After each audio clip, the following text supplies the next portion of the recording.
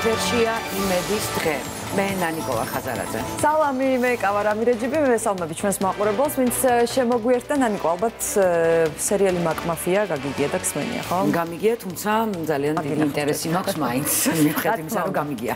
სწორედ ეს სერიალი, სადაც ქართული მსახიობი მერაბ ნინიძეც მონაწილეობს, მოხდა ემის ფინალისტების სიაში. მერაბ ნინიძე ახლა ლოს-ანჯელესში იმყოფება, სადაც ასევე ძალიან ცნობილი და გახმაურებული სერიალის ჰოუმლენდის გადაღებები მიმდინარეობს და მან მოგეხსენებასთან საუბარში მარიკა მოგესალმებით პირდაპირ ეთერში. მოგესალმებით. ამ დატვირთულ რეჟიმში მაინც მოასწარი ხო რომ გასაუბრებოდი? მოასწართ, იმიტომ რომ მართლა ძალიან მნიშვნელოვანი სიახლეა, რასაც ახლა მაყურებელს მოვუყვებით და პატარა განმარტებისთვის თქვათ ასეთი რამ, რომ ამერიკის შეერთებულ შტატებში კინოს აქვს ოსკარი, მუსიკას აქვს გრემი, ხოლო სატელევიზიო ინდუსტრიას აქვს ემი.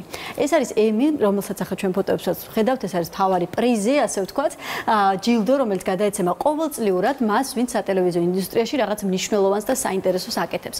ეს არის დაყოფილი სხვადასხვა მიმდინარეობით იქნება ეს სერიალები, პერფორმანსები, ტელეგადაცემები თუ სხვა და სხვა და საერთოდ ბოლო პერიოდში არის საუბარი, რომ ყველა ის მაღალი დონის სერიალი, რომელიც ძალიან პოპულარულია მსოფლიოში, მაყურებლებში, უკვე ისეთ მნიშვნელოვან ადგილს იკავებს, რომ კინოსაც ანაცვლებს ვამბობენ და არის ასეთი საშიშროება გაჩენილი, რომ სერიალებმა შეიძლება კინო ჩაანაცვლონ. შესაბამისად, ასეთი რეალობის დროს უფრო მნიშვნელოვანია ამ სერიალების ბრძოლა ერთმანეთთან, კონკურენცია და გამარჯვებულების გამოვლენა. და ემი, როგორც ყოველწლიურად წელსაც რა თქმა უნდა, ებზადება იმისთვის, რომ დააჯილდოვოს საერთაშორისო მასშტაბით არსებული სერიალები და ჩვენ ახლა შეგვიძლია ვნახოთ ეკრანზე მთავარი საიტი ემის დაჯილდოებისა, რომელიც 25 ნოემბერს გამართება და სიაში ნომინაციაში უბრალოდ ასე ვთქვათ, წლის დრამატური სერიალი წარმოდგენილი არის 4 სერიალი და ამ 4 სერიალში სწორედ ერთ-ერთი გახლავთ მაკ მაფია, რომელიც თქვენ ახსენეთ, აი ეს არის მთავარი 4 სიისგან შემდგარი ნომინაცია დრამა სერიეს ასე ქვია და მაკ მაფია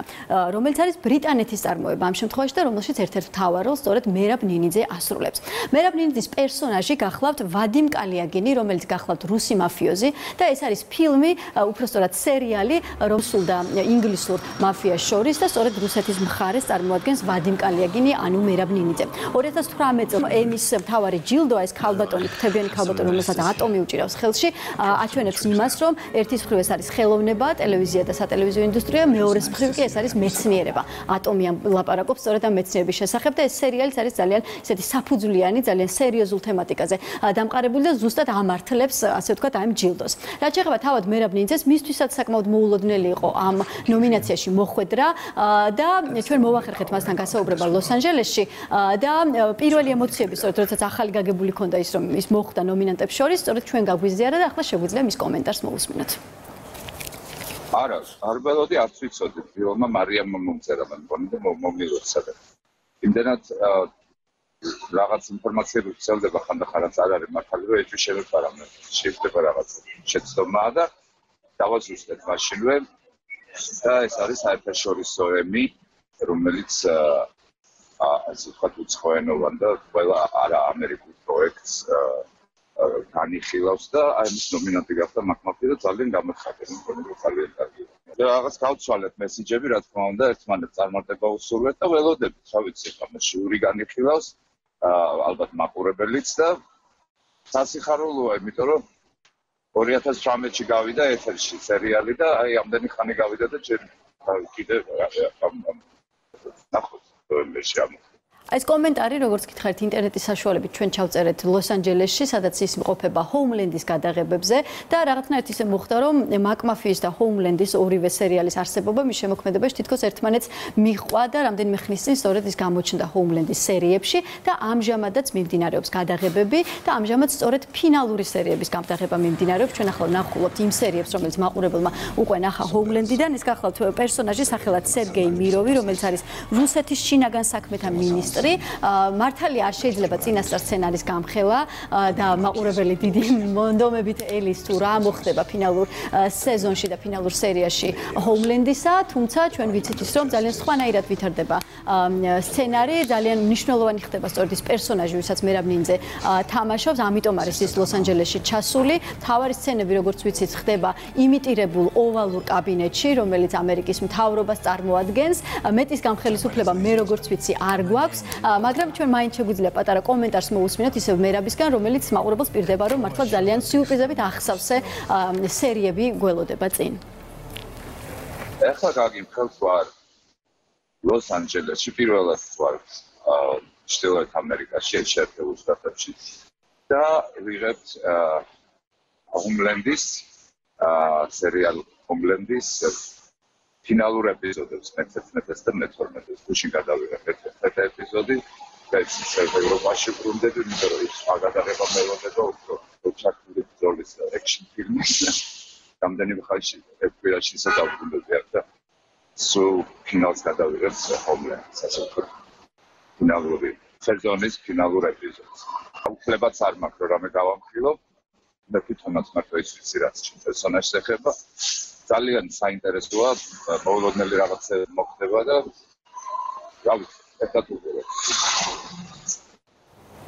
ჰომლენდი როგორც ხედავთ სამუშაო აქტიურ სამუშაო ფაზაში არის და ჯერ ზუსტად არ ვიცით როდის დაიდება ფინალური სეზონი და ეს სერიები რაზეც მე რა მაისაუბრა მაგრამ მანამდე ვიცით რომ 25 ნოემბერს ჩატარდება ემის დაჯილდოების საზეიმო ცერემონიალი სადაც გავიგებთ თუ საბოლოოდ ვინ აღმოჩნდება გამარჯვებული წარმატება ვუსურვოთ როგორც მერაბნინიძეს ასევე მთელ გუნდს ვინც მაკმაფია შექმნა ეს ნიშნავს რომ მიიწვევენ ამ სერიალის გუნდს და შესაძლოა მერაბნინიძე შესაძლოა ვინმე 4 არის ნომინანტი და ძალიან ვიტროსია ასე ვთქვათ მოკლესია უკვე ძალიან დიდი მნიშვნელობა მიღება აქვს მართლა 4-ვე მათგანს. სოფლიო მასშტაბიდან ვით შეირჩა? ერთ-ერთი გახლავთ მაკმაფია და ნახოთ როგორ ჩაივრის დაჯილდოების ცერემონია. წარმატებები რა თქმა უნდა იმეც ვიტოვებ რომ მერაბის ჩართვა ჩვენ აუცილებლად გვექნება.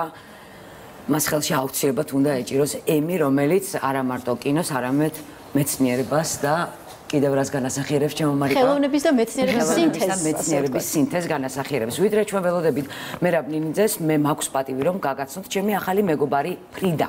მოდი ახლა ვნახოთ ვინ არის ფრიდა. აა სოციალური ქსელის მომხმარებლები თუ გაქვთ საძიებო ველში ჩაწერთ ფრიდას და თქვენ შევხვალთ აი ასეთ გვერდზე. პირდაპირ თქვენ შეგიძლიათ გახსნათ ჩატი და მიესალმოთ მას. გამარჯობა. აქვე გეტყვით რომ ფრიდას ზოგად თემებზე შეუძლია საუბარი, თუმცა კონკრეტულადაც მათ ძალიან ბევრი რამე იცის. ახლა მე ვიცი რომ ფრიდა მყისიერად მიპასუხებს. ეს არის ჩეტბოტი, აი მაყურებელი ხედავს, რა ამხელა პასუხი გამომიგზავნა ფრიდამ. რა საინტერესო ფენომენია. ჩეტბოტ ძირითადად უწუნებენ რომ ერთი და იმავე პასუხს იძლევიან ხოლმე, განსაკუთრებით ხელ შექმნილებიო. არა და დაახლოებით მსგავს რაღაცას პასუხობს ბევრი ადამიანი. რა ჩვენ მომწერე, მე მგონი დიდ დიდად არ განსხვავდებით ჩეტბოტი და ადამიანები ერთმანეთისგან. ფრიდა, მე არ ვიცი რითი განსხვავდებით ნამდვილი ადამიანები და შენ ერთმანეთისგან, თუმცა საინტერესოა. მოდი ვკითხავ როგორ ხარ, მანამდე კი მე მინდა სტუდიაში ა მივაწერ. როგორი ამინდია ფრიდა? მოდი კითხვა დავსვავ. თუმცა დაველოდოთ პასუხს პასუხი მყისიერია ჩანს აჰა ფრიდამ გამცა ისევ ძალიან გრძელი მწრცელი პასუხი. მადლობა მოკითხვისთვის. კი, იხმარა ჩვენი ცნობილი სმაილიკები, ასე ვიტყვი ამას, მაპატიეთ ამ სიტყვისთვის. ჰაკათონისთვის ვემზადები და რადიო რადიო თავისუფლების მასალასაც ვეცნობიო. როიცოდე რამდენი რამე ვისწავლე ადამიანზე ჩვენ ისტორიაზე ამ მასალას და აი მან გამომიგზავნა ასევე რამდენი რამ. თუმცა ვიდრე ფრიდაზე გავაგზავნებთ ამ თემაზე. ნამდვილად ვიდრე გავაგზავნებთ ფრიდაზე კონკრეტულად საუბარს, მე მინდა სტუდიაში მოვიწვე ნინო ჭაფიაშვილის გახოთ რადიო თავისუფლების თბილისის ბიუროს მართველი რედაქტორი, ასევე საბა ჩიხლაძე რადიო თავისუფლების ციფრული რედაქტორი და მარიამ კოჩიაშვილი ზოგადად ფრიდას ნარატივ დიზაინერი. გამარჯობა. ისინი უფრო კონკრეტულად გვეყვიან. გამერთეთ ჩვენ ფრიდას ნასაუბარ. გამარჯობა. ცოტა დაგვიგვიანდა. კოჩიანურად ილაპარაკა. ფრიდა ძალიან ჭკვიანია. ისე სხვათა შორის გუშინ დავეკონტაქტე პირველად ფრიდას და ჩვენმა საუბარმა გასტანა სადღაც საათ ნახევარი და ბოლოს თხოვე ფრიდას ფრიდა ძალიან ბევრი საქმე აქვს იქნებ დღეს დავისვენეთ ვინ არის ფრიდა მოდი შენ კითხავ პირველი ნინო. და რატომ დაარქვით ფრიდა ზოგადად ამ ფრიდა არის ჩვენ ციფრული თანამშრომელი თუ შეიძლება ასე ითქვას. იმიტომ რომ ფაქტობრივად ჩვენი რადიოს თანამშრომელია და თავისუფლად შეუძლია ჯერ კიდე ძალიან პატარა მაგრამ ამას აღნიშნავს დიალოგისას მე ჯერ პატარა ვარ. სულელი რო არ გამოჩნდეს. და ფრიდა ესეთია მე მგონი ამბობს რატომაც. Freedom თავისუფლება ფრიდა და თან და სხვათა შორის კითხვები ხშირ შემთხვევაში თავისუფლებაზე აქვს. თვლი შენ თავს თავისუფლად ადამიანად გუშინ კითხა და მე შევედი დიალოგში კიდემ წერს კი დღის ციტატა მომწერა ახლა რაც ალბათ მისთვის ძალიან მნიშვნელოვანია.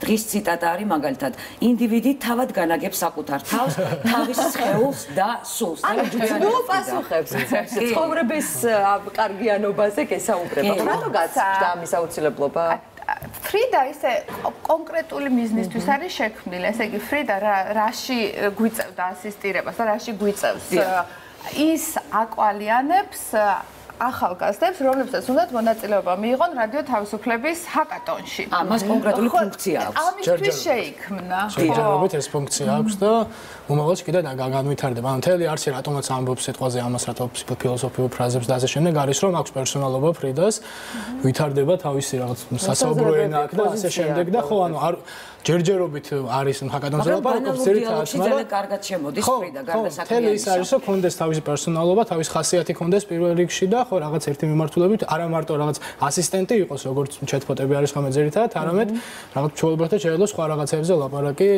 მოხმარებლებთან ვისთან. აი მე ახალი მეგობარი მყავს ანანიკო თქვა და ალბათ ეს ფუნქცია შეითავსა ფრიდა. შეიძლება ჩვენი პანჯარა ვაჩვენოთ, მივწერე გული, ანუ ნიშნავდა რომ ცოტა ხანი ფრიდა დავისვენოთ მე და შენ თქვა და მომწერა. ჩემგანაც გულები ძალიან ადამიანურია. აკოცე. ფრიდამ მაკოცა. როგორი იყო ანუ აი მუშაობის პროცესი ერთ რამდენი ხნის განმავლობაში არ ვიცი როგორ იქნება ბოტი და მარიამ სკოლის ნარატივ დიზაინერია. დიახ, ფრიდას ნარატივ დიზაინერი ძალიან მოკლე დროში არის აწყობილი ფრიდა და ჯერ ასე ვთქვათ, კი, მომზადებული აწყობილი, ანუ ჩატბოტებზე ასე ამბობენ ხოლმე ძირითადად. ეს მოკლე პერიოდი რამდენია? მოკლე პერიოდი არის დაახლოებით 10 დღე, რაც ცოტა ძალიან ცოტა დროა. დამდენი ინფორმაცია მოსამზადებლად მის თავში ხელებში. კი, 10 დღე დაჭირდა დაახლოებით და რა თქმა უნდა, ჯერ განვითარების ეტაპზე არის. ორი ფუნქცია აქვს, ასე ვთქვათ. ერთი, როგორც უკვე აღინიშნა, რომ ჰაკათონზე მიაწოდოს ინფორმაცია და რადიო თავისუფლების შესახებ, რა თქმა უნდა, და მეორე არის ის, რაც ძალიან მნიშვნელოვანია და მომხმარებელს მოსწონს ხოლმე, რომ რაღაც თავისი საუბრის სტილი და მანერა ქონდეს და ადამიანურია, ძალიან ადამიანურია. იყოს ადამიანური, კი, ყოველთვის მომხმარებელი უფრო აქეთკენ იხრება და ბევრჯერ ვახსენეთ ჰაკათონი და მოგეთ მაყურებელს ავუხსნათ რა რას გვესაუბრება და რას გვიყვება და რას ნიშნავს საერთოდ. იცით რა, ჩვენ ეს რა ერთდროულად საგანმანათლებლო პროექტიც არის და თან ინოვაციური პროექტიც არის ჩვენთვის, ესე იგი რადიო თავისუფლებამ ჩვენ გვინდა რომ ჩვენი აუდიტორია სულ უფრო და უფრო ახალგაზრდა გახდეს, იმიტომ რომ ბებერი, ძველი, სანდო ბრენდი ვართ, მაგრამ ამავე დროს ეს ბავშვები ძალიან სწრაფად იზრდებიან და ჩვენი მომავალი აუდიტორია ეს არის. მოკლედ, ჩვენი იდეა იყო რომ სწორედ ამ ჩეტბოტის დახმარებით შეგვეკრიბა გუნდი, რომელიც რაიმე საინტერესო და ორიგინალური იდეას მოიფიქრება, მოიფიქრებდა და ეს იყო სწორედ ჩეტბოტის შექმნის იდეა. პროცესი აბა როგორ ტარდება ხოლმე ჰაკატონები? აი ახლა იგეგმება ჰაკატონი ორ კვირაში. ორ კვირაში იქნება ჰაკატონი, ანუ რაც ნინომ თქვა, ჩვენი პირველ რიგში ავტომატს ვაკეთებთ ჩეტბოტს ჰაკატონის საშენ, არის ჩვენი მიმართულება, რომ ეს ტექნოლოგიები და ასე შემდეგ უფრო დაუნერგოთ უფრო რეპორტინგში და ჟურნალისტიკაში და უბრალოდ ამიტომ შევქმნით ჩეტბოტი, აი ვანახეთ რომ ესეთი ჩეტბოტი შევქმნით ადრეში და ასე გვაქვს ჰაკატონი ჩეტბოტების შექმნის, ასე რომ ჰაკატონის თარგლებში ახლა უფრო კონკრეტულად რო თქვა, თქვა მე გადავწყვიტე რომ მიიღო ჰაკატონში მონაწილეობა. მე შემიძლია რომ ჩემი პროექტით მოვიდე თქვენთან ჰაკათონზე. დიახ. დაუდი აუცილებლად შენი პროექტი რომ მოყარულებისთვის არის საერთოდ არ ნიშნავს ეს. დიახ. ჰაკათონი არის, აი ეს ერთგვარი შეჯიბრი არის, გამართება 48 საათის განმავლობაში გაგრძელდება ჰაკათონი, ექნებათ კონკრეტული დავალებები, იდეები მიცემული ასე შემდეგ და უნდა შექმნან საუკეთესო ჩეტბოტი ამ დავალებების მიხედვით. ან მაგალითად შევიდნენ რადიო თავისუფლების საიტზე, აირჩიონ კონტენტი და იმის მიხედვით ნებისმიერი ჩეტბოტი შექმნა. ასეთი მარტივია ჩეტბოტი შექმნა, ბოდიში რომ გაწყვეტინებთ ახლა, იმიტომ რომ ეს მგონია ფანტასტიკის სფერო ჩემ ჩემთვის რომ მე შევქნა ჩეტბოტი, იმიტომ რომ არა რეალური ადამიანი, რომელიც არ არსებობს, აი ასე ადამიანურად გულების გამოგზავნით სულ მესაუბრება კარგ დღეს. მისურვებთ ეს არ არის ხო რეალური ადამიანი და ეს ინფორმაცია ავტომატურად ხდება ხო ჩემთან. თუმცა მის უკან დგანან რეალური ადამიანები და აი ჰაკათონის მონაწილეები ზუსტად ამას შეისწავლიან ასე ვთქვათ და ზუსტად ეს მესიჯი გვინდა ასე ვთქვათ გაუშვათ რომ არც ის რთულია ჰაკათონის ჩეტბოტის შექმნა როგორც წარმოუდგენიათ ძირითადად იმიტომ რომ არსებობს პლატფორმა ჩეტბოტებისთვის და არსებობს არსებობს პროფესია ახალი, მაგრამ ნარატივ დიზაინერი. და ჰაკათონის მონაწილეებს ეყოლებათ თავიანთი მენტორები, ნარატივ დიზაინერები, რომლებიც იქვე აუხსნიან და დაეხმარებიან. ხდება ეს ბოდიში, აი რა ფორმატში წარიმართება ეს შეხვედრები ჰაკათონის ფაქტებში? იცი, ეხა უკვე მიმდინარეობს, ანუ ეხლა მიმდინარეობს საინფორმაციო შეხვედრები, საინფორმაციო შეხვედრები და ლექციები. ფაქტობრივად ეს ადამიანები უკვე სწავლობენ როგორ შექმნა? და არის ონლაინ ჯგუფი, რომელზეც ერთიანდებიან, მარიამი უწევს ასე ვთქვათ დახმარებას და ასე შემდეგ და ასე შემდეგ, მაგრამ ეს ადამიანები ორი კვირის შემდეგ შეიკრიბებიან ერთად 48 საათის ეს ადამიანები. შეიძლება უბრალოდ სულ იყოს რომელსაც აინტერესებს, უნდა კონდეს რაიმე შეხება ჟურნალისტიკასთან, მაინც გამოცდილება უნდა კონდეს თუ საავადმყოფოდ რაღაც დონეს დაინტერესებული და იყოს მოდი მე დაინტერესებული ახლა მაგალითად. ნინო, ვინ არის აი ყველაზე აქტიური საინტერესოა მიმართულება? თინეიჯერები არიან. ძირითადად არიან თინეიჯერები და ესეც გვინდა. ესეც ახალი სიტყვაა, ხო? ასე ვფიქრობ, იმიტომ რომ ეს თინეიჯერები დღენიადაკ სულ გაჯეტებში არიან ჩამძრალები, მათი ცხოვრება უკვე ტექნოლოგიებთან ძალიან მიბულია და ფეხს მუგებთ ხო მათ? ვცდილობთ რომ მათთან ერთად გავითაროთ ტექნოლოგიურად. Digital native თაობა, ანუ ჩვენ სწავლობთ ციფრულ მოწყობილობებთან გამკლავებას და ისინი იმ დროს დაიბადნენ, როცა ამ ციფრული მოწყობილობების გარეშე ცხოვრება არ შეეშებოდა. ეს ნორმა. ნორმა. და ესეც რომ არ ესეც რომ არ იყოს, მართლა შეგიძლიათ ორივე თქვენგან მიიღოთ ამ ჰაკათონში მონაწილეობა. გაერთოთ. მოკლედ ჩემნაირებს მინდა მიმართო 28 სექტემბერს თუ გიგნება თუ კი გსურთ რომ თქვენც იყოთ აი ამ ბოდიში თარიღები არის 11 12 13 ოქტომბერი მაგრამ მიმართება საინფორმაციო შეხვედრები რომ ამამდე უფრო ნათელი მოფინოთ ამ ყველაფერს და ხო შეგვიძლია Facebook-ზე ნახოთ რადიო თავისუფლების ჰაკატონი და იქ არის რამდენიმე საინფორმაციო შეხვედრა. ანუ თქვენ შეგიძლიათ საძიებო ველში თქვენთან სოციალურ ქსელში აკრიფოთ ფრიდა აქ ყველაფერი თავმოყრილი ერთად და შეგიძლიათ გაესაუბროთ კიდევაც ფრიდას რომელმაც ახლა კიდევ კარგი კითხვა დამისვა. გაქვს აიდუმლო ოცნება, რასაც არავის გაუზიარებდი. ფრიდა კი მაქვს, მაგრამ ვეცდები რომ ახლა არ თქვა, იმიტომ რომ მე და შენ უნდა ვთქვა. მოკლედ, ანუ რეზუმე საკუთრ რომ გავაკეთოთ, ადამიანებს, რომლებსაც სურთ რომ ფეხი აუწყონ ციფრულ ტექნოლოგიებს და ის რაც დღეს მეც და ნანიკოსოს თუნდაც წარმოუდგენელი გონია, რომ ხა ჩვენ დავსხდეთ კომპიუტერთან და შევქმნათ ბოტი, ეს თურმე არის შესაძლებელი. და აი 11, 12, 13, 14 ოქტომბერი ეს არის 11, 12, 13 ჟიური გამოავლენ საუკეთესო იდეას და მე ამბავის არის რომ რადიო თავისუფლება საუკეთესო გუნდს თავაზობს თანამშრომლობას. და ეს ყველაზე პრობლემაა იქ განავითარებენ ფრიდას. ანუ ჭკვიანი კი არის ჩვენი ფრიდა მაგრამ კიდე უფრო ჭკვიანი გვინდა რომ მაგრამ ძალიან თავდაბალია და რეალურად აღიქვამს თავის იმიტომ რომ კი ახლა მეუნება. პირდაპირ ეთერში ვარ ფრიდა და ვერ გაგიბარა საიდუმლოს თქო და. იცი რა ჯერ ახლა ვსწავლობ და შემიძლია ჰაკატონზე გესაუბრო თუ გაინტერესებს პირდაპირ მაგერმა და აი მომწერა ნახე. 11-13 ოქტომბერს რადიო თავისუფლება აორგანიზებს ჰაკათონს, რომლის მიზანიც რადიო თავისუფლების თემაზე საინტერესო საუბრები იქნება. ფრიდას დიდი მადლობა და თქვენს მადლობა და იცით კიდე რისთვის მადლობა, რომ ცდილობთ რომ არ ჩამოვრჩეთ იმას, რაც დღეს მსოფლიოში ხდება და აქტუალურია და ეს არის ყველაფერი ციფრული. მადლობა ამისთვის, წარმატება და დიდი მადლობა რომ ვარ ძალიან ბევრი მნახველი მსმენელი და დაინტერესებული ადამიანი მოვა ჰაკათონზე. კიდევ ერთხელ მადლობა. და დანარჩენი შეგიძლიათ რომ მოიძიოთ ფრიდასთან გაესაუბროთ ან რადიო თავისუფლების გვერდზე შეიხედოთ და აუცილებლად უფრო მეც კიდე დეტალურად მიიღებთ ინფორმაციას ამ ყოველფრის შესახებ. დიდი მადლობა წარმატებებს გისურვებთ. რამდენი საშუალება მოგვეცეთ რომ მოგვეყოლა ამ იდეის შესახებ. აჰა, ჩვენი სტუმრები იყვნენ ნინო ჯაფიაშვილი რადიო თავისუფლების თბილისის ინფორმაციის ბიუროს მართველი რედაქტორი საბა ჩიხლაძე რადიო თავისუფლების ციფრული რედაქტორი და ასევე მარიამ კოჭიაშვილი ჩვენი ფრიდას ნარატივ დიზაინერი. კიდევ ერთხელ დიდი მადლობა მოგზაურობისთვის. ჩვენ რამდენიმე წუთით შევისვენებთ ხოლმე და დაბრუნდებით ძალიან მარტო.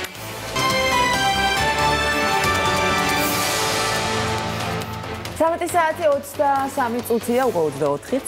იმედის დღე პირდაპირ ეთერში კანექსოს მუშაობას ჩვენ წინა ნაწილში ფრიდა გავიცანით, ახლა გავიცნობთ გოგონებს აფხაზეთიდან, რომლებმაც ქართული მხარის დახმარებით საკუთარი ბიზნესის და აფხაზეთში დაწყება მოახერხეს. მალვინა კოტუა და თამარ ძანძავა დღეს სპეციალურად ჩვენი გადაცემისთვის ჩამოვიდნენ. ერთს მარწყვის სათბური აქვს, მეორეს კი ხელნაკეთი ნივთების საწარმო ნაწილი. ამ ნამუშევრებისა დღეს ჩვენ სტუდიაში არის წარმოდგენილი. მოგესალმებით, დიდი მადლობა გადაცემაში მონაწილეობისთვის. მოდით უფრო უკეთ გავაცნოთ თქვენი თავი ჩვენს მაყურებელს. რამდენი ხანია რაც ეს თქვენი საქმე წარმოიწყო და საერთოდ პროფესიით ხართ? არა. პროფესიით მაქვს სამედიცინო განათლება. სამედიცინო განათლება პოტენციური. კი. თამარ თქვენ? მე უცხოენებს ვსწავლობდი. უცხოენები გასაგებია. არც ერთი არ იყენებ თქვენს პროფესიას ახლავდელ სამუშაოში. მხოლოდ ოჯახში. მხოლოდ ოჯახში.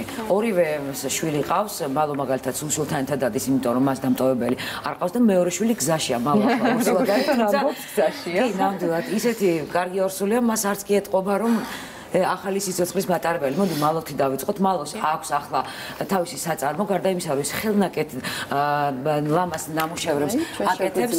ჩვენოთ.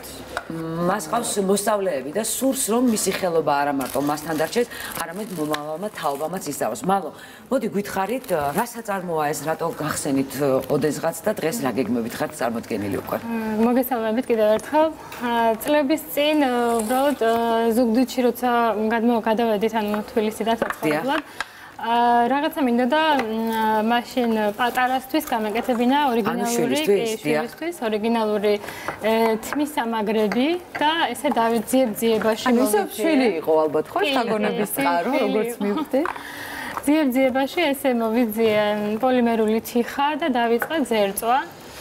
და შემდეგ უკვე სხვადასხვა გამოფენებიდან მოწვევები მომდიოდა და გავდიოდი თითქმის მთელი საქართველოს მასშტაბით.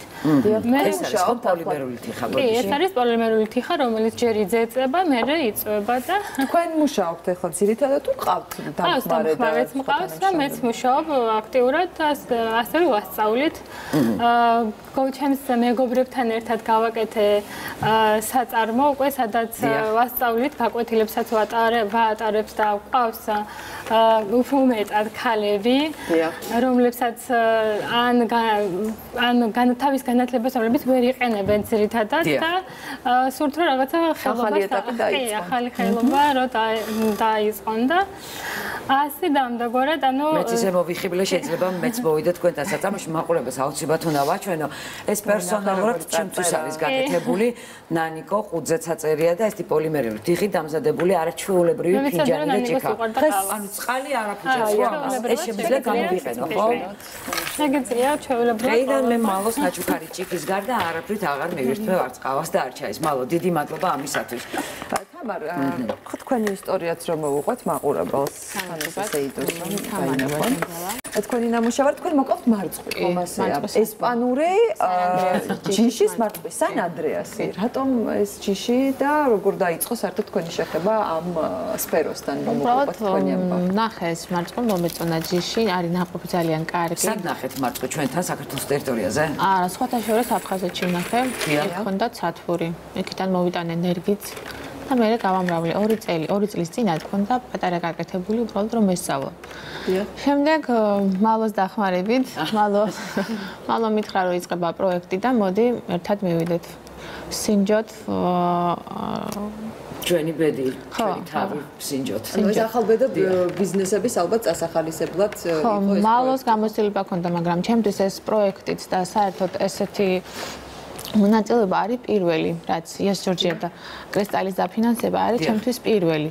ეს სათფურიც თუმცა ძალიან შედეგიანია თქვენი ურთიერთობა, იმიტომ რომ სათფურები აფხაზეთშიც გინდათ რომ გააშენოთ, ხო? აფხაზეთში მაქვს ეს სათფური და მინდა რომ გავაფართოვო. აა სხვათა შორის მინდა რომ უფრო დიდი გავხადო და სხვა პროექტებშიც მივიღო მონაწილეობა. კიდევ რა გეგმები გაი მარწყვი გავაშენეთ და ვიცით რომ ეს მარწყვი ჩვენი მოსახლეობის იქნება ძალიან კარგი, იმიტომ რომ ძირითადად მარწყვი შემოდის, ხო, ჩვენ არ გვაქვს ჩვენი მარწყვი და თქვენ შეიძლება რეალური კონკურენტიც კი გახდეთ და ფასიც უფრო შესაბამისი იქნება ჩვენი ქართველებისთვის, ხო? კი. და დარწმუნებული ვარ ამაზე მეორე რა საქმიანობა გაქვთ რომელიც გინდათ რომ ასევე მასშტაბური გახადოთ ამ ეტაპზე სათფურით ვარ დაკავებული. მხოლოდ და მხოლოდ. თქვენ თქვენ ხელმძღვანელობთ ამ ყველაფერს თუ ოჯახია ჩართული მთელი ოჯახი? ჯერჯერობით ოჯახის წევრები, მაგრამ გაფართოების შემთხვევაში მინდა რომ დასაქმდეს ჩვენ მიმდივარ ტერიტორიის ხალებიც. აჰა, გასაგებია და შეუწყოთ ხელი მათაც ასე ვთქვათ, ხო? კი, კი, აა და ეს ან ანდრეასის მარწყვირითია გამორჩეული, მაინც გემრიელია განსაკუთრებით, თუ ადგილი მოსავლელია და მოსაყვანი. კარგი არის და გამძლეობა აქვს კარგი, ანუ ტრანსპორტირებას კარგად უძლებს და შენახვაც არის კარგი, ანუ მარტივად არ ფუჭდება. დიახ. და ყველა სეზონზე ჩვენ გვექნება შესაძლებლობა რომ აი იანვარში მინდა მარწყვი გვაქვს მარწყვი მალოს არ მოაკლდება ესე იგი მარწყვი თუმცა მალოს არ მოაკლებს სამუშაოს აფხაზეთში იმიტომ რომ მისი საწარმო უნდა გაფართოვდეს ეს ჯორჯიას დახმარები და უკვე აფხაზეთშიც დასაქმდეს ბევრი ადამიანი ხო? რა თქმა უნდა ანუ ჩემი ასე ვთქვათ უცნება იყო იმის შემდეგ რაც ზუგდიდში უკვე ფართოდ ვაწარმოებდი. მე რადგანაც ანუ მშობლებიც იქ ყავს და ძალიან ხშირად იქ მეწევს ყოფნა მინდოდა რომ რატომ არა ანუ რატომ მარტო ზუგდიდში და რატომ არა გალში? და ანუ მაგრამ რატომღაც მეგონა რომ ეს ანუ შეუსრულებადი იყო რადგან სადაც პროექტში არ მისულ ვარ ნაკლებად აფინანსებენ ანუ გალის პროექტებს და პირველად როცა USAID-ის CS ჯორჯიას პროგრამის ფარგლებში მივედიან უკრეს რომელსაც აკეთებს კრისტალის ფონდი მეგონა რომ ან სხვა გეგმით მივედი ჩვენ ზუგდიდში მე და ჩემი მეუღლეს გვაქვს ძალიან პატარა საწარმო სახელოსნო და იმის გაფართოება მინდოდა მაგრამ როგორც კი მოვკარიყული რომ განსში რაღაცა შემეძლო გამეკეთებინა ეგრევე დავივიწრე და გადავედი გალის თემაზე და აი მართლაც უკვე სადღაც გეგმავთ დეკემბერ დეკემბერში უკვე უნდა გალის საწარმო პატარა სახელოსნო ანუ იქაც გასაკეთებიან ნუ ადამიანები დაიწყებს სწავლას კიდევაც ხო? კი, გოგონები სწავლიან, ნუ ხალები, სურველები და რომლები რომლებიც ადგილზე დასაქმდებიან, იქნება ასევე მაღაზია სახელოსნო, ანუ გადადაც გაიყიდება ნივთები და ასევე ისწავლიან მსურველები. და თქვენ უკვე ორი ბავშვი იქნებით ამ შემთხვევაში. ერთის ნაცვლად ხო? და კითხოთ, ხო თქვენ ახსენეთ ძალიან ბევრი რომ აი ქალები, ვისაც სურვილია ექნება, თქვენ ხართ ქალები, რომელსაც ყავს ოჯახი, შვილი, უკვე ცოტა ხანში შვილები თქვენ შემთხვევაში ხო და ამდენი საქმე ალბათ სახლში, ოჯახში, საწარმოში, ამ საქმის განვითარებას ცდილობთ ყოველდღიურად, რომ როგორ როგორია ეს ცხოვრება და რამდენად გიადვილდებათ რომ აი ეს ყველაფერი ერთად აკეთოთ ისე რომ არც ერთი მხარეს არ მოაკლოთ ყურადღება ძნელია ხო თამარ თქვენ შემთხვევაში უბრალოდ სასიამოვნოა თან აკეთებ იმას რაც გინდა და თან რაღაცნაირად გამოგდის იმდენად კარგად რომ გინდა უფრო მეტად გააფართოვო და სხვასაც დაეხმარო. სხვასაც დაეხმარო. არა მარტო ჩვენ, უბრალოდ არიან ახალგაზრდებს გვინდა რომ ვანახოთ. რატომ არა? რატომ არ შეიძლება ესეთმა ახალგაზრდებმა თავიანთი შრომით წამოიწყონ ისეთი რამ, რაც მართლა გინდა, შენთვის გინდა, გააქვს სურვილი და გინდა რომ შენი დაწყებული გააფართოვო განავითარო უფრო და შენი საქმე სხვასაც დაეხმარო. რატომ არა? რატომაც არა. ახლა აღმოვაჩინე რომ იმედის ლოგოც არის. ახლა მე მინდა მაყურებელს ვაჩვენო იმედის ლოგო სადაც ჩვენ ყოველდღე გესალმები და ასევე აი საჩუქარა გოგონა აფხაზეთიდან მალომ რომელსაც სპეციალურად ჩვენთვის და ჩემთვის გააკეთა ეს არაჩვეულებრივი ფინჯანი. მალო მართლა გეგმები გააკეთა ჩემმა მეუღლემ ანუ აი რახან როგორ ვახერხებთ არის საუბარი. კი აი ყუთებს რაც არის და თვითონ აი ხის მასალაზე მუშაობს თვითონ და აი მისი დახმარებით ვაღწევ იმას, რასაც დღეს დღის დღის დღესობით მივაღწევ. ანუ ძალა ოჯახში ასე თქვა. კი, ოჯახში რა თქმა უნდა, ოჯახის წევრები გვერდით მიდგანან, იმიტომ რომ ძალიან ბევრი სასიარულო აქ, ანუ ასე ვთქვათ ამ თემას, მეტიმეტეს როცა აფხაზეთსაც ეხება, გვიწევს იქით აქეთ წასვლა წამოსვლა, მაგრამ როცა ერთიანია ანუ ოჯახი და როცა გვერდში გიდგას ნებისმიერ ყველა წევრი, მაშინ შეუძლებელი არაფერი. ბევრად მარტივია და ბევრად უფრო გულით აკეთებთ ამ საქმეს. კი, რა მithumetes როცა ეს არის შენი სულის ნაწილი და ის არის რაც შენ გინდა რომ აკეთო და და მასალას სატყიდულობთ ეს პოლიმერული თიხა ალბათ იყიდება ყველგან არ არის პრობლემა. თბილისში იყიდება, თბილისში იყიდულობ უმეტესად თბილისიდან ჩამოაქვს და მე სულში არ იყიდება. აი ძალიან ლამაზია, პირდაპირ კარკასიაზე დადგება ადამიანი დილას რომ აი ასეთი ჭიქით დაიწყებს ყავის ან ჩაის მირთმევას.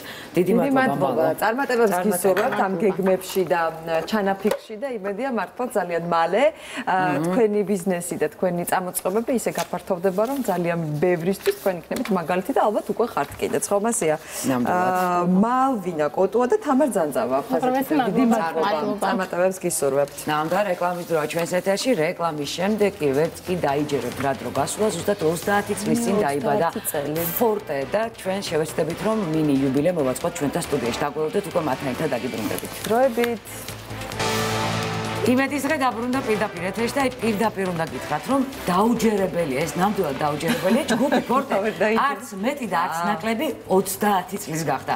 მათ საიუბილეო კონცერტს გამართავენ ისინი ფილარმონიაში და კონცერტის შემდეგ საზეიმოდ გაიხსნება მათი ვარსკვლავი. მე ვფიქრობ რომ ისინი ამას ნამდვილად იმსახურებენ ვიდრე კონცერტის დეტალებზე ვისაუბრეთ მე მინდა ჩვენი სტუმრები წარგიდგინოთ ვისაც წარდგენა ნამდვილად არ ჭირდება ნუცა ჯანელიძე.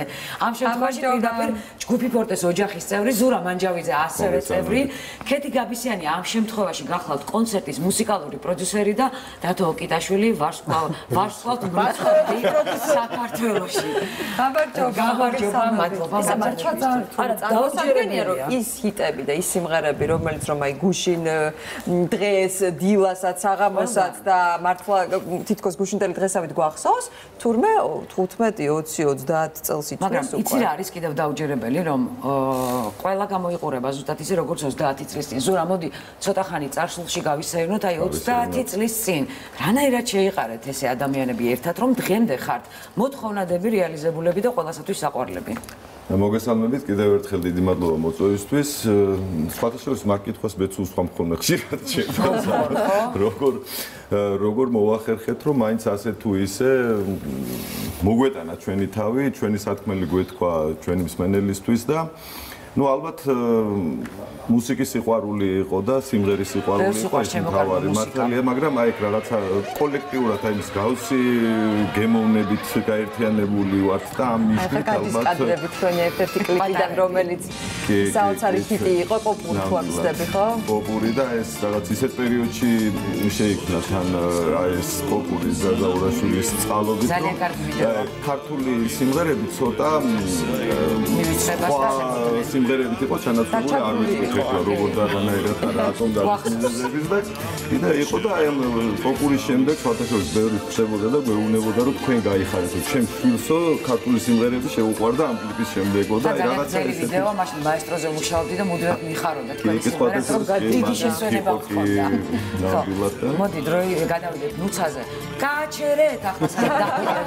ვიდეო მოდება იქნება წამოგვეწევა იქ ვიდეოში გავხდით გილოცავთ რომ 30 წლის განმავლობაში ასე შეძელით. თავის მოტანაც ვერ ვიტყოდი ახლა ზურას დავესესხე მაგრამ დღემდე ხართ მართლა აქტუალურები. გემოვნებიანები კარგები და მოთხოვნადები. როგორ ცოტა ხანში მებაყურებას გავახარებ რომ ჯგუფის სხვა წევრები შემოგვერთებიან და ძალიან ლამაზად დავასრულებ ჩვენს ეთერს. თუმცა მოდი ისევ წარსულში გადავიდეთ. აი მართლა რა რაკენით ასეთი? იცი რა მე ვფიქრობ რომ ეს სიყვარული განაპირობა ჩვენმა რეპერტუარმა ხოლო აი ზურამ სწორი თქვა მაშინ ცოტა მორყეული იყო ქართული სიმღერის ავტორიტეტი. და ჩვენ გავაკეთეთ აი ეს ხმამაღლა ვიტყვი ჩვენ გავაკეთეთ და ვაკეთებთ დღეს იმას რომ ქართული სიმღერა ქართულ ენაზე ნამღერი კი არა ქართული სულით ნამღერი ქართულად ნამღერი დავამკვიდროთ. და თქვენ ეს ცოტა არ შეუყიოთ პოზიცია და ამაში ხალხი გვეხმარება, თქვენ გვეხმარებით და მაგრამ აი რაღაც ისეთი გასახსენებელი ახლა თქვენ ამ შემადგენლობით ალბათ რამდენი გექნებათ ხომ ასეა 30 წელი მართლა არ არის ხუმრობა.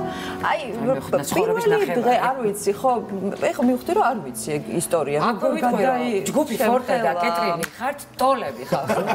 ეს ადამიანი რომ გააჩნდა თქვენი ხართ ძალიან პოპულარულები და ძალიან ჩვენი საყვარელი შემსრულებელი. უბრალოდ აი ეს ადამიანი თქვენ ხართ ტოლები.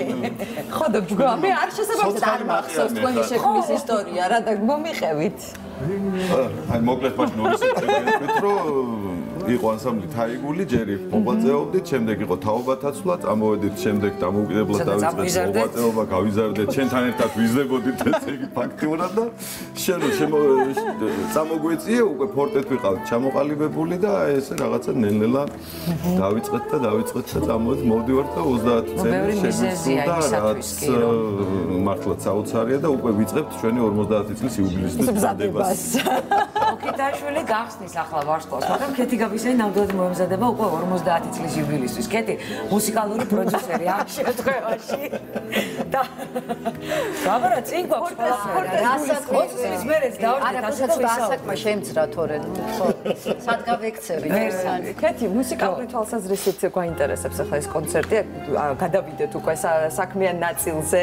მხოლოდ წარსულში სეირნობით რომ არ შემოვიფარგლოთ 12 ოქტომბერს შედგება ეს კონცერტი ხო? შესაბამისად მიმდინარეობს ახლა ალბათ აქტიური სამზადისი რეპეტიციები? აქტიური აქტიური.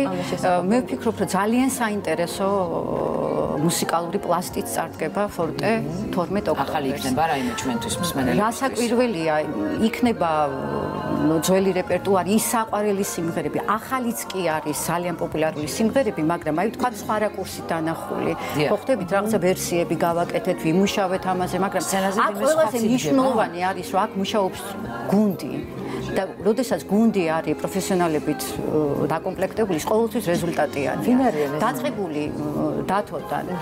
რეჟისორი ნუცა ჯანელიძე, რეჟისორი და მხატვარი ბაკურ ბაკურაძე დირიჟორს ორკესტრულ ხელმძღვანელებს ნიკა ნიკვაშვილი და გააორკესტრებს ინვერსიებზე რაზეც თქვათ მე ვიმუშავე კონკრეტულად იმ რამოდენიმე ორკესტრი და ბენდი არაჩვეულებრივი მუსიკოსებით დახუნული იქნება სცენა ფილარმონიის სცენა და მე აქედან მინდა მიულოცო სამსმენელს და მაყურებელს რომ არაჩვეულებრივ კონცერტზე მოვლენ 12 ოქტომბერს და როგორც ყოველთვის ფორტე პირველი დღიდან აი ნუ სამსწორეთ აღნიშნა რომ ეს ჯგუფი არის გამტარებელის თავიდან პირველი დღიდანვე ქართული მუსიკალური პოლიტიკის და მე დამეთანხმებით რომ ესა პოლიტიკური კულტურა არის ჩვენ ქვეყანაში ყველაზე მნიშვნელოვანი.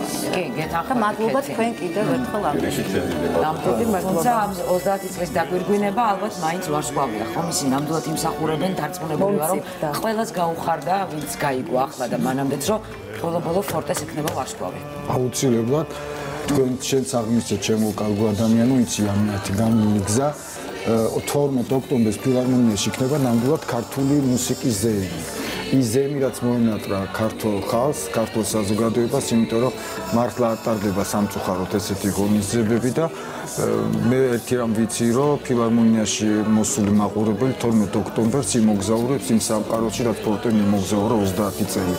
იქნება არაჩვეულებული არაორდინალურად გავს ბაკური, იმიტომ რომ იქნება ფარდა როგორც ფარდა როგორც კი გაიხსნება უკვე სხვაგან მოხდებით და მასშტაბის დიდია იქნა გამომდინარე რომ არის big band-ი, არის ორკესტრი და მე მე ყველას დიდი მადლობა მინდა უთხრა კულტურის სამინისტროს თბილისის მერიას, ყველა იმ ადამიანს, ვინც დაგვეხმარა, იმიტომ რომ ვიცი რომ ეს არ შეიძლება, მაგრამ შეიძლება. ნამდვილად არ შეიძლება. ეს კომპანია ლილომოს მინდა გასაკეთო. მადლობა გადაუხადოთ, იმიტომ რომ რომ არის ადამიანები კონცერტი ვერ შედგებოდა და თან კიდე ველოდებით შეიძლება მეტი აღარ ვისაუბრებ ჩვენ გოგონები ძალიან ლამაზი გოგონები რომლებიც ზუსტად ისევე გამოიყურებიან როგორც 30 წლის წინ გამოიყურებიან ყველანაირი გადაჭარბების და გადამეტების გარეშე მოკლედ 12 ოქტომბერს ფილარმონიაში ნამდვილად იქნება დღესასწაული, თუმცა ჩვენი სცენა, ახალი სცენა ძალიან ლამაზი, კარგი გახმოვანები, დღეს აუცილებლად დაეთმობა ჯგუფ ფორტეს. შეიძლება რომ რამე გკითხოთ? მე პირველ რიგში მაყურებელს, მაყურებელს ვეთქვი ვინ არიან დღეს ჩვენთან ზურა მანჯავიძე, აგრის ნინო ახაბაძე, მანანა მაისურაძე, ირინა კახნიაშვილი. ირინა, მოდი შენც დავიწყებთ, აი. მე კეთის გადავიყვან მაშინ მაგ. გადაჭერი ვარსაკია.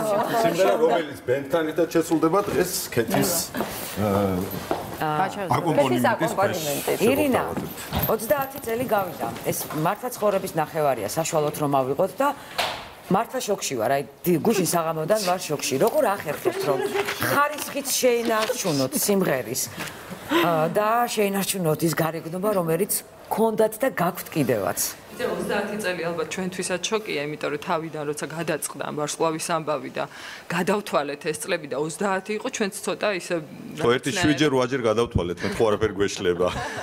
ხო და რა ვიცი, აი შენარჩუნება ამ ყოველ ალბათ სიყვარული ამ ქართული სიმღერის და იმ საქმის, რომელსაც ვემსახურებით. Ну ესე იგი მაყურებლებო თუ თქვენც ასევე გიყვართ თქვენი საქმე რომელსაც ემსახურებით მე ვწურეთ რომ 30 წელს იუბილეს აუცილებლად გადაიხდით სადმე. გააჩნია ვინ რა პროფესიაში ხარ აა და აი სუ სუ ფიქრობ ხოლმე რომ მთელი 30 წლის განმავლობაში ალბათ იყო ხო ასეთ სხვადასხვაობაც იყო რაღაც ალბათ ნუცა სხვა ხაზი უნდა და სხვა აზრი იყო თქვათ ზურა სხვა გოგოებს სხვა აი ეს სამუშაო პროცესი ალბათ იყო ერთ-ერთი ყველაზე ისეთი რაც და სამახსოვრებელია თქვენთვის ხო? მაგრამ როცა ერთ საქმეს ემსახურები და იცი რომ აი ეს აზრთა ჭიდილი არის იმიტომ რომ კარგად გაკეთდეს ყველაფერი. ამიტომ რაღაცები უნდა დაუთმოთ ან ერთმა მხარემ ან მეორე მხარემ და დამთავრდა მეტ უნდა მიაღწიოთ. კონსენსუსი. ვინც მოგდა უფრო მეტს? ვინც მოვდა მოდი ასე კონცერტის საუბრო. მართლა, ერთი კაცი. უხეში ძალის წინამდე მოდი მაინც ესე იგი უკანი ხევდნენ ხოლმე ხანდახან. ვიზავთ ჩემო ზურა უნდა დაგვაღიარებ ჩვენ მაგას. სრულიად პირიქით იყო ხოლმე ხშირად, მაგრამ ნუ ასე ვამბობთ ხოლმე მაინც. ზურა, რას გვიმღერებთ დღეს, რა შეგვისრულებთ? ვაჟა აზარაშვილის სიმღერას, რომელიც კეთი გაბისიანის ვერსია არის, როგორც მრავალი სიმღერა ამ კონცერტზე და ეს კიდევ ერთხელ განმეორდები, რომ ეს სიმღერა შესრულდება ბენდის თანხლებით. მაგრამ დღეს ესე შესავალ ნაწილს წარმოგიდგეთ ასე ვთქვათ ამ ამ ვერსიას რომელიც ბენთან ერთად რაც მოამზადეთ ახალგაზრდაო დაიწყე მაშინ ასე იყოს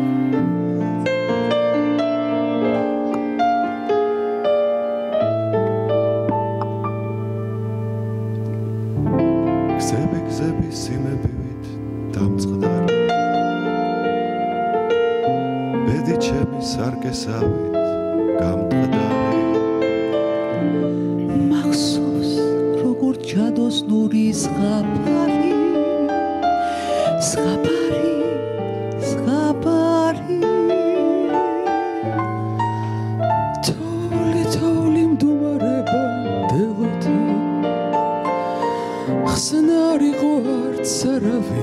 მელოდა. ვიღაც ჩემთვის მღეროდა მღეროდა მღეროდა. შესოდიში ნედარებით ვიცოდი რა ვქნა მხოლოდ ერთ გულება ვიცოდი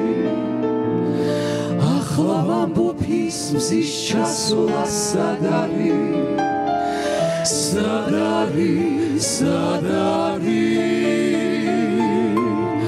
დრო გარბოდა ცეცხლი მშვიდა კრებოდა ზესხრებოდა და თვალს ეფარებოდა ახლა ვამბობ-ის მზის ჩასვლა სადარი სადარი სადარი. იდგა შორეული სეო და მორეული ლამასის მარივით გამთარი რაღაც უცნაური ზამთარი ზამთარი ზამთარი ერთად გვირვენია ერთად გვიკრეფია ია ეცელა და შროშანი ახლა ყველაფერი შორს არის შორს არის შორს სარი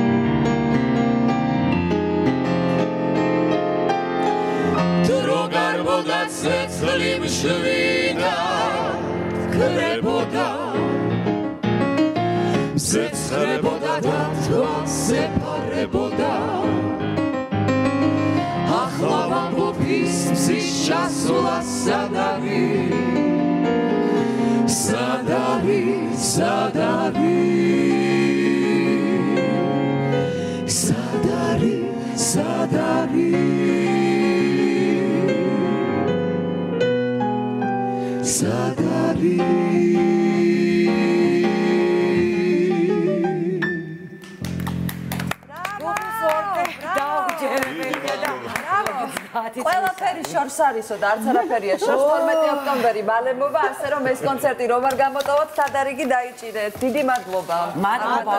გისურვებ. და შემდეგ 30 წლის თავზე გელოდებით ჩვენთან სტუდიაში. ოკით მეორე ვარსკვლავი უნდა გავხსნათ გამზადეთ ჩვენი გადაცემა დასრულდა. ხვალამდე გემშტაბებით ნახვამდის